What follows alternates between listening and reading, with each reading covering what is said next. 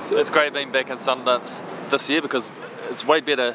Not just me, me and Louis. Yeah, you said we the whole we got- thing. Sorry. Yeah. Yeah, yeah. cool. Okay, we'll go again. It's great being back in Sundance this year. Yeah, especially this time because we've uh, kind of brought our whole team. I'm Laura Petersen. I'm Kevin Paulo. Amiata Kumu. oh yeah.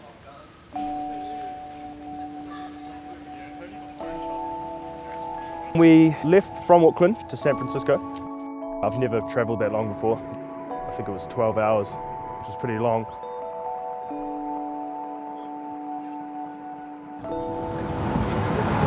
This is exciting, isn't it? America. And then we left from San Fran to come to Park City, Utah for the Sundance Film Festival. First day, I wake up, all of a sudden, rush, rush, rush, back and forth to these different photo shoots up and down the main street. TV interviews and just so many photo shoots. Watch, they've been smiling for too long now, now it's fake. There's all these people out the front just throwing all these branded things at you. Right now we're getting too much stuff. The other thing is they're free as long as we take a picture in them, which is fine by me. And there's so many people on the streets just walking everywhere. You're trying to zigzag your way from like photo shoot to photo shoot. And then like, we're going to our premiere. Like we're, we're going to our premiere. So excited. And off we go. Hopefully people like it. I mean, hopefully I did a good job.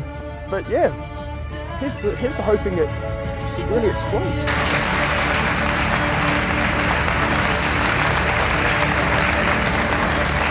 It was an excellent film, and what I really loved is the way that story was told from this little boy's perspective and his fantasy land. It's very well done, very well acted and, and directed.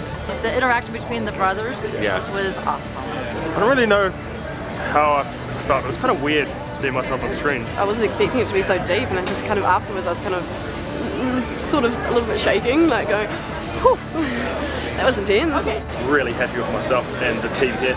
It's been been a really close family experience for us.